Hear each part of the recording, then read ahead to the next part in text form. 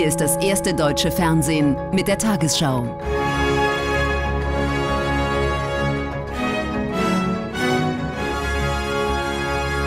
Heute im Studio Susanne Daubner. Guten Abend, meine Damen und Herren. Ich begrüße Sie zur Tagesschau. Die Europäische Union und die Arabische Liga wollen künftig enger zusammenarbeiten, trotz starker Meinungsunterschiede beim Thema Menschenrechte. Zum Abschluss des ersten gemeinsamen Gipfels im ägyptischen Sharm el-Sheikh wurde eine neue Ära der Kooperation und Koordination vereinbart. Kanzlerin Merkel verwies darauf, dass die EU auf eine Partnerschaft mit den arabischen Ländern angewiesen sei, etwa bei der Migration. Abschluss eines Gipfels vor Traumkulisse am Roten Meer. Nicht weniger als eine neue Ära der Partnerschaft von Europäischer Union und Arabischer Liga sollte besiegelt werden. Doch bei der Abschlusspressekonferenz kommt es zum Eklat auf offener Bühne. Der Gastgeber reagiert scharf auf die Frage nach Menschenrechten. Sie erteilen uns keine Lektion in Sachen Menschenrechten. Auch wir haben Würde, Werte, Ethik. Sie haben ihre Werte und ihre Ethik. Das respektieren wir und Sie sollten unsere respektieren. Bei der Mammutkonferenz allerdings standen andere Themen auf der offiziellen Tagesordnung. Handel, der Antiterrorkampf, regionale Konflikte wie in Syrien und im Jemen. Bei allen Differenzen eint die fast 50 Regierungschefs Emire und Könige zumindest der Wunsch nach mehr Stabilität in der krisengeschüttelten Region an der Südflanke Europas. Das Schicksal der Europäischen Union hängt von dem Schicksal dieser Länder der Arabischen Liga auch ganz unmittelbar mit ab. Wir haben das erlebt im Zusammenhang mit Migration, mit Flucht. Und deshalb heißt die Aufgabe, multilaterale Zusammenarbeit miteinander zu pflegen, auch wenn es zum Teil natürlich sehr unterschiedliche Ansichten gibt.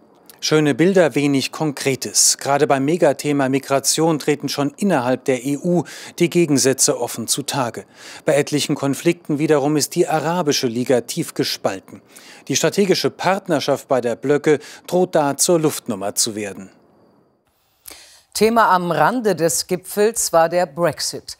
Knapp fünf Wochen vor dem geplanten EU-Austritt Großbritanniens brachte Ratspräsident Tusk einen Aufschub ins Gespräch. Er sprach von einer vernünftigen Lösung angesichts der kurzen Zeit bis zum 29. März. Premierministerin May lehnt dagegen eine Verschiebung ab. Sie hatte in Ägypten unter anderem mit Tusk und Kanzlerin Merkel gesprochen. Für die Kanzlerin begann der Morgen in Sharm el-Sheikh mit einem anderen als dem eigentlichen Gipfelthema. Frühstück mit der britischen Regierungschefin May und ausloten, wie es weitergeht in Sachen Brexit. Donald Tusk, der EU-Ratspräsident, hat seine Schlüsse offenbar schon gezogen. Jetzt gehe es darum, Chaos und Schaden zu verhindern. Für mich ist es absolut klar, dass es keine Mehrheit im britischen Unterhaus gibt, um einen Deal zu beschließen. Ich denke, dass es in dieser Situation rational wäre, die Verhandlungen zu verlängern. Den Brexit verschieben, womöglich gar um anderthalb Jahre, wie es in den letzten Tagen zu hören war, das klang wie ein Paukenschlag. Zumal die britische Premierministerin die Tage am Roten Meer intensiv genutzt hat, um bei ihren Kollegen gute Stimmung zu machen für letzte Zugeständnisse der EU. Jede Verschiebung ist nur eine Verschiebung. Sie löst das Problem nicht. Ich denke, es ist möglich, die EU am 29. März mit einem Abkommen zu verlassen und daran werden wir arbeiten. Einen Deal in the Desert, eine Brexit-Entscheidung in der Wüste sollte es nicht geben, hatte die EU vor dem Gipfel angekündigt. Die deutlichen Töne von Tusk in Sharm el-Sheikh aber könnten May sogar helfen, denn sie führen ihren härtesten Brexit-Befürwortern zu Hause vor Augen entweder Deal oder womöglich erstmal länger No Brexit. In Großbritannien kam am Abend Bewegung in die Position der größten Oppositionspartei. Labour-Chef Corbyn stellte sich hinter die Forderung nach einem zweiten Brexit-Referendum. Mit dem Schritt solle ein so wörtlich schädlicher Tory-Brexit verhindert werden, teilte Corbyn mit. Zuvor will Labour aber versuchen, die Regierung von den eigenen Brexit-Plänen zu überzeugen. Nach der jüngsten Gewalt in Venezuela wächst der politische Druck auf Präsident Maduro. Bei einem Treffen der sogenannten Lima-Gruppe in Kolumbien kündigte US-Vizepräsident Pence weitere Maßnahmen an. Washington stehe an der Seite des selbsternannten Übergangspräsidenten Guaido, bis in dem Land wieder Freiheit einziehe. Guaido bat die Staaten der Region um mehr Unterstützung in dem Machtkampf. 100 Prozent Rückendeckung für Juan Guaido. Das ist die Botschaft, die US-Vizepräsident Pence nach Bogotá mitbringt. Die USA seien entschlossener denn je, den selbsternannten Übergangspräsidenten Venezuelas zu unterstützen. Und Pence kündigt dazu neue Sanktionen an. Das sind die nächsten Schritte, dem Regime den Zugang zum Geld abzuschneiden, das sie dem venezolanischen Volk gestohlen haben. Und wir fordern alle friedliebenden Länder auf, das Gleiche zu tun. Die Welt habe am Wochenende die Gewalt sehen können, die Venezuela seit Jahren erleide. Es gehe jetzt nicht um Krieg oder Frieden, sondern um Demokratie oder Diktatur, so Guaido, der die internationale Gemeinschaft zum Handeln auffordert. Nachgiebigkeit mit den unrechtmäßigen Machthabern wäre eine Bedrohung für die Demokratie in ganz Amerika. Die sogenannte Lima-Gruppe ist ein Verbund lateinamerikanischer Länder, die ein Ende der Maduro-Regierung fordern. Gesucht werde eine friedliche Lösung, Gespräche mit dem einzigen Zweck, Neuwahlen herbeizuführen, aber jetzt mit mehr Druck. Diese Gespräche hier müssen dafür dienen, dass die Sanktionen noch kräftiger, noch effizienter sind. Sie sollen den Neuanfang ermöglichen, den die Venezolaner so dringend fordern. Die USA kündigen weitere Sanktionen gegen offizielle Vertreter der Maduro-Regierung an. Der Machtkampf in Venezuela endete nicht an diesem Wochenende, er geht in die nächste Runde. Der Druck auf die Maduro-Regierung wird weiter erhöht, immer mit der Drohung der USA, dass eine militärische Intervention nicht ausgeschlossen wird. Bundesjustizministerin Barley will die Zahlung der Maklerprovision beim Haus- oder Wohnungsverkauf neu regeln. Sie plant eine Gesetzesänderung, nach der künftig der Auftraggeber die Kosten tragen soll. In vielen Fällen ist das der Verkäufer. Für Vermietungen gilt das sogenannte Bestellerprinzip schon jetzt. Bei Immobilienkäufen kann die Maklerprovision Zehntausende Euro ausmachen. Gegen Barleys Vorhaben gibt es Widerstand aus Union und Wirtschaft. Der Kauf einer Immobilie ist für viele ein Traum. Aber vor allem in den Großstädten können sich Klein- und Mittelverdiener Wohneigentum nicht leisten. Nicht nur der Kaufpreis an sich ist hoch, dazu kommen auch noch Nebenkosten. Die setzen sich zusammen aus Maklerprovisionen, die üblicherweise bis zu 7 Prozent betragen, der Grunderwerbsteuer, abhängig vom Bundesland zwischen 3,5 und 6,5 Prozent, und den Notargebühren. Eine Beispielrechnung aus Hessen. Für eine 300.000 Euro Immobilie muss der Käufer marktüblich 17.850 Euro Maklerprovision zahlen, 18.000 Euro Grunderwerbsteuer und 4.500 Euro Notargebühren, insgesamt 40.350 Euro. Das Bundesjustizministerium hat jetzt einen Gesetzentwurf vorgelegt, der die Immobilienkäufer in der Regel von den Maklerkosten befreien soll. Künftig solle das Prinzip gelten, wer bestellt, bezahlt. Vor allem in Ballungszentren mit hoher Immobiliennachfrage seien die Maklerprovisionen überhöht. Wenn jetzt der Verkäufer selbst diese Cottage bezahlen muss, obwohl der Makler gar nicht viel leisten muss, dann wird er schon darauf achten, dass das ein angemessener Preis ist und kein Mondpreis. Der Koalitionspartner CDU ist skeptisch. Ein solches Gesetz könne sogar das Gegenteil bewirken. Wenn am Ende des Tages die Kosten auf den Kaufpreis aufgeschlagen werden, dann wird es am Ende für den Käufer noch teurer, weil da fallen dann auch noch Notarkosten an, Grunderwerbssteuer die prozentual berechnet werden und dann mitsteigen. Die Freien Demokraten schlagen vor, die Steuern zu senken. Wenn man die Hauskäufer entlasten will, wenn man sagen will, ja, wir wollen eine Eigentümernation, die Menschen sollen sich auch Eigentum leisten können, dann muss man einen Freibetrag bei der Grunderwerbsteuer einführen, weil damit entlastet man wirklich die Menschen.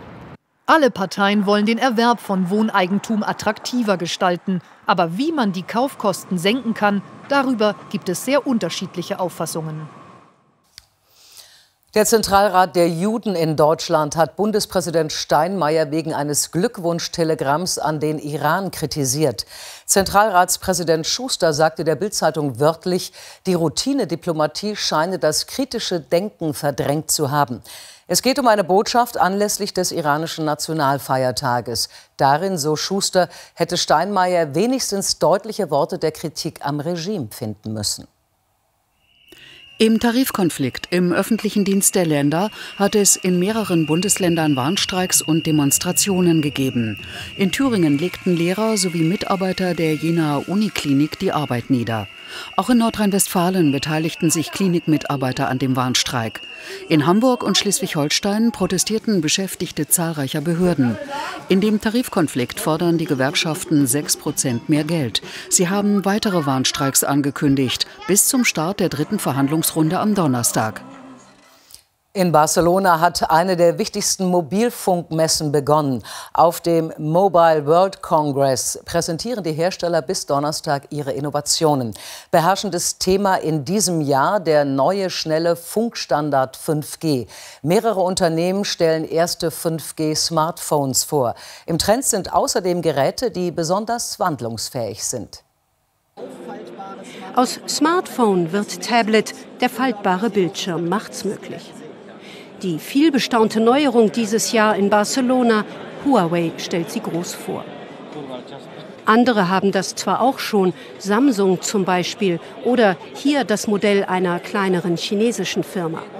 Aber Huawei besteht darauf, sie haben die Nase vorn. Wir sind die Ersten, die einen Chip für den neuen Mobilfunkstandard 5G in so einem Gerät haben. Damit wird es das schnellste Smartphone der Welt. Alle warten auf 5G. Was soll damit nicht alles bald möglich sein?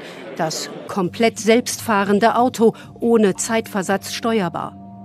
Das kommunizierende Auto.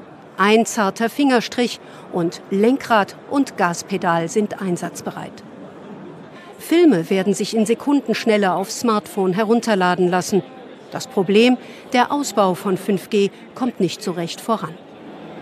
In Deutschland ist die Herausforderung sicher erstmal, dass die Frequenzen vergeben müssen. Das ist ein Prozess, der sich jetzt verzögern könnte, weil die drei großen Netzbetreiber klagen und Eilanträge eingereicht haben.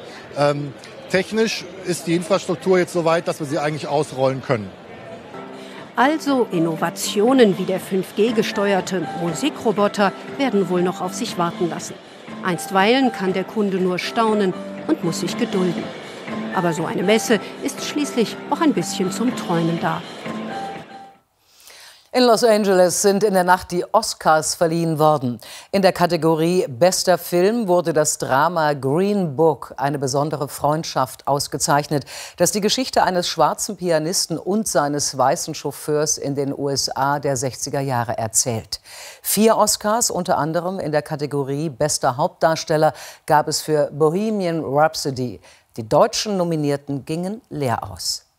And the Oscar goes to Der große Favorit. Roma! Regisseur Alfonso Cuarón holt mit einem sehr persönlichen Schwarz-Weiß-Film drei Oscars. Er erzählt die Geschichte von Cleo, einer indigenen Frau, die als Kinder- und Hausmädchen in Mexiko-Stadt arbeitet. Die Streaming-Plattform Netflix hat den Film produziert. Das hat auch viel Kritik ausgelöst. Doch Cuarón ist wichtig, dass gerade solche Filme gemacht werden.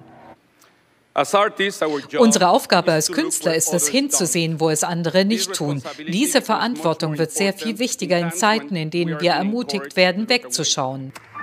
Den Oscar für den besten Film bekommt Green Book, die versöhnliche Geschichte einer Freundschaft zwischen einem schwarzen Pianisten und seinem weißen Beschützer. Schwarze Künstler waren von der Wahl nicht begeistert, zu unkritisch der Vorwurf. Ein großer Beifall dagegen für den Oscar für Kultregisseur Spike Lee.